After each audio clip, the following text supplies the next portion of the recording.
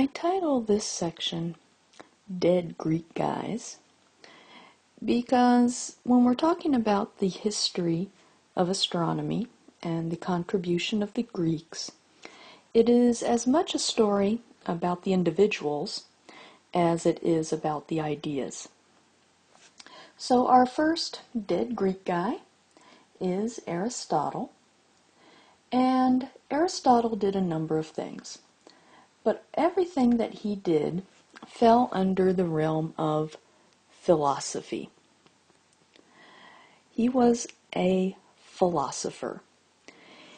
And philosophers believed that they could reason to an answer. They did not do experiments. And at this era, there were no scientists. Everyone was a philosopher if they thought about such things. And so that's what Aristotle did. One of the first things that Aristotle did was formalized what we now call the geocentric model. And the word geocentric means earth centered.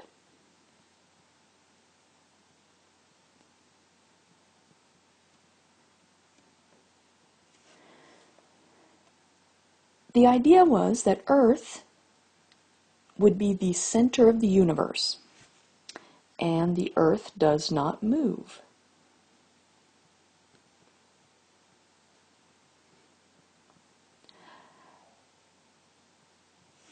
And how did Aristotle come to this conclusion? Well, obviously, we don't feel like we are moving, therefore, we must not be moving. So that's how the philosophers reasoned their way. Now, in this model, everything orbits Earth.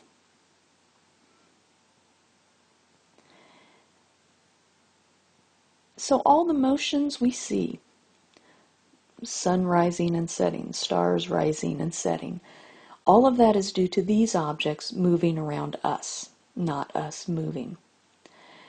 And the Greeks were the ones who invented geometry.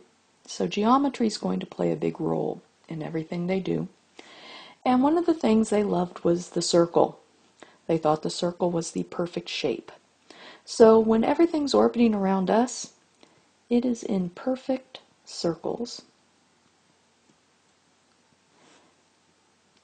And constant motion. So nothing's going to speed up or slow down. Everything's going to move at a steady rate. Now each object has its own speed, so the sun moves at its own constant steady speed. The moon moves at a different constant steady speed, according to Aristotle's uh, model. So everything should move steadily across the night sky.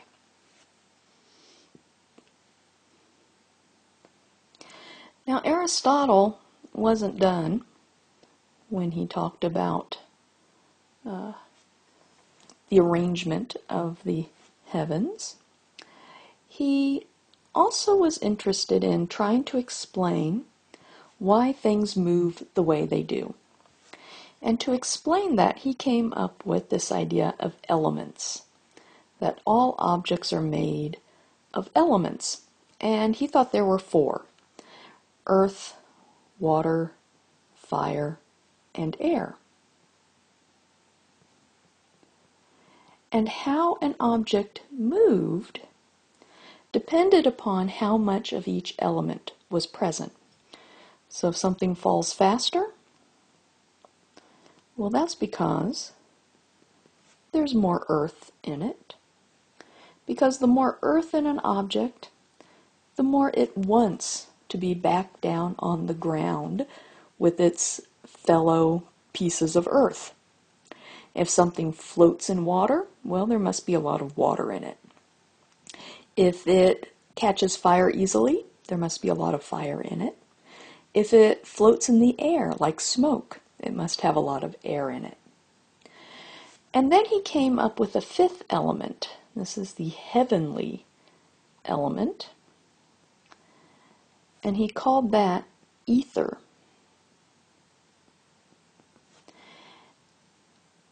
Because he proposed that the heavens were made of something different from what was found on the earth. In fact, he said that the heavens are perfect and unchanging.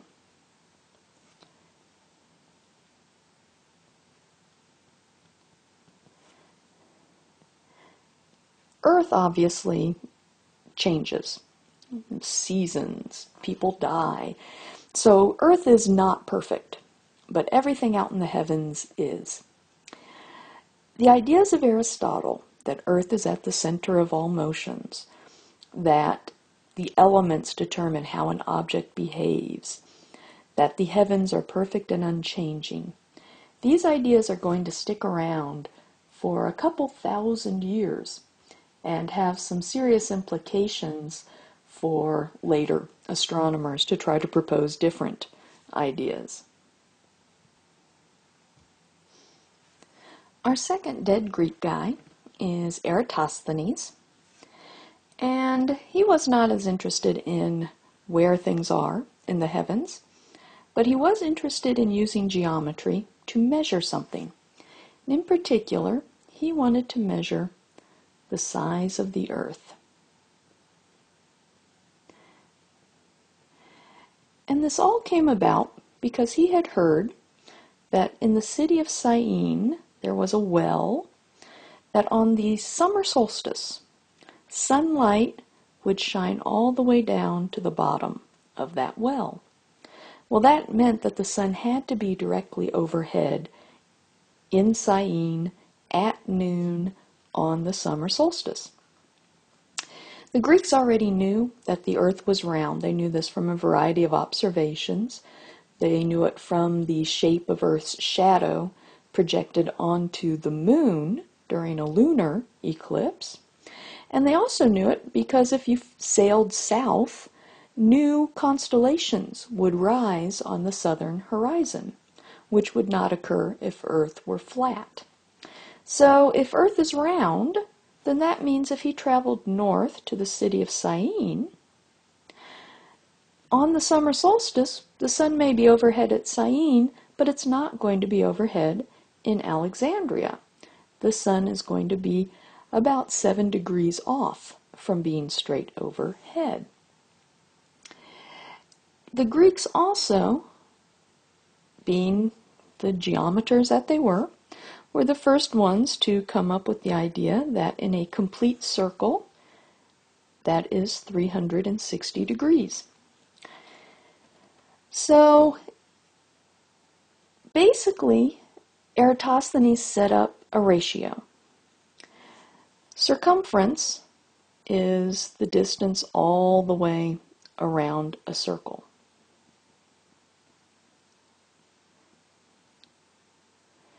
So that's similar to the 360 degrees, making a complete circle.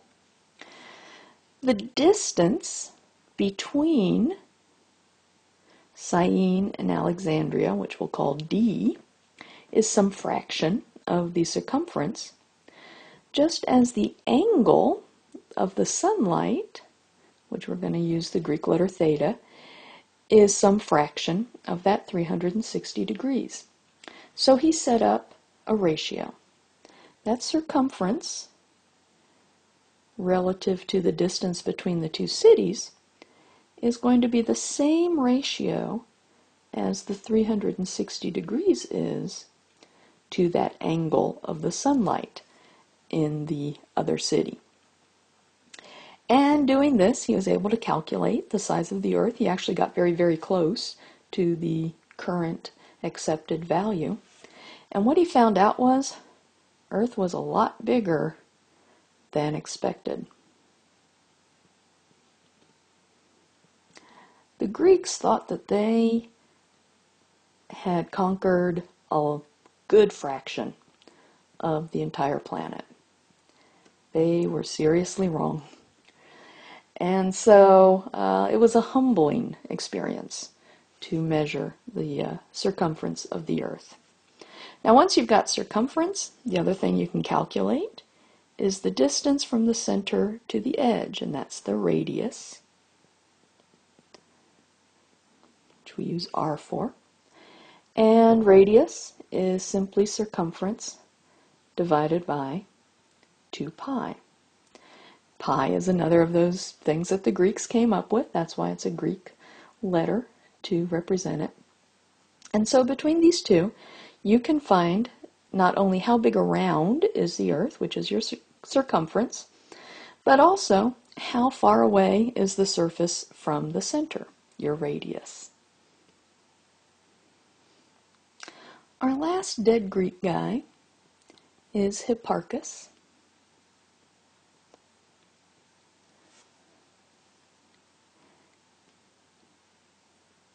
And the picture that you see of Hipparchus there, he's got some kind of instrument in his hand. He's looking at the stars and charting their positions and using that device to measure angles between stars. And what he discovered was stars near the north celestial pole had shifted. He didn't know what that was or what caused it, but the positions had clearly changed since the last time somebody had made a star catalog. Well, we now call what he discovered precession. And we now know that it's not the stars that actually move, but it's the Earth.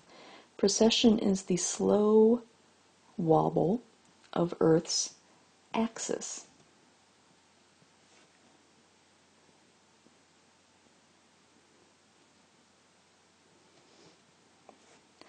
And that's what's illustrated here. Slow, very, very slow. It takes 26,000 years to uh, go through one wobble circle. And that's due to two things. One, we are rotating on our axis. And two, our axis is tilted.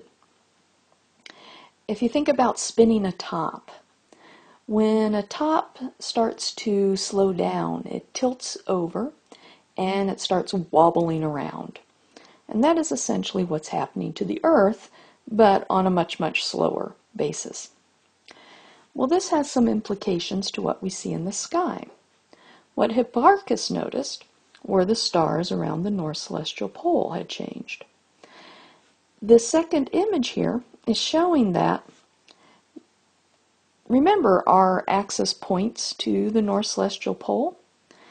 Well, if our axis is wobbling, then where it points is going to wobble. And this shows the path of the North Celestial Pole over the course of this 26,000 year cycle. So we happen to live in an era where we have a nice star next to the North Celestial Pole, Polaris. That isn't always going to be the case. Now, not all stars are shown on this drawing, but there's certainly eras when very few stars are really close to the North Celestial Pole, and we won't have a good North Star. Uh, people in the southern hemisphere currently do not have a good South Star, a nice, easy to see star near the South Celestial Pole. So it's going to change our North Star.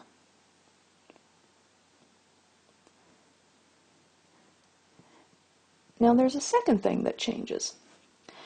Remember that if our axis is changing direction of tilt, then that's going to have an effect on our seasons and when we experience the seasons. So when we are tilted towards the sun, that's summer.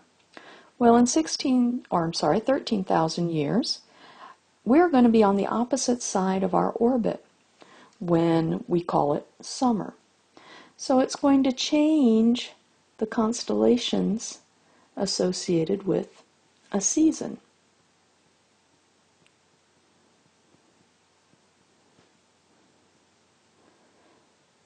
So right now, we think of winter constellations as constellations like Orion, and summer constellations like the Summer Triangle. Well, in 13,000 years, the Summer Triangle is going to be visible in the wintertime. and Orion is going to be a summer constellation. And if we keep our months connected to the seasons, so December is always winter, then that's also going to change birth signs. Because as our position around the sun changes, it's going to change what constellation the sun is in front of on a given date. I had referenced this in an earlier tutorial about sky motions, that your birth sign may not be what you thought it was. And that's because of precession.